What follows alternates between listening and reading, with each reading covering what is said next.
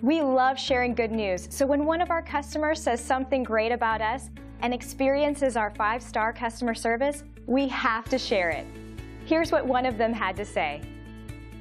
So it should come as no surprise that we love hearing from happy and satisfied customers. And this review is no exception in showing our dedication to superior customer service. This is one of our favorite reviews as well. Very inspiring.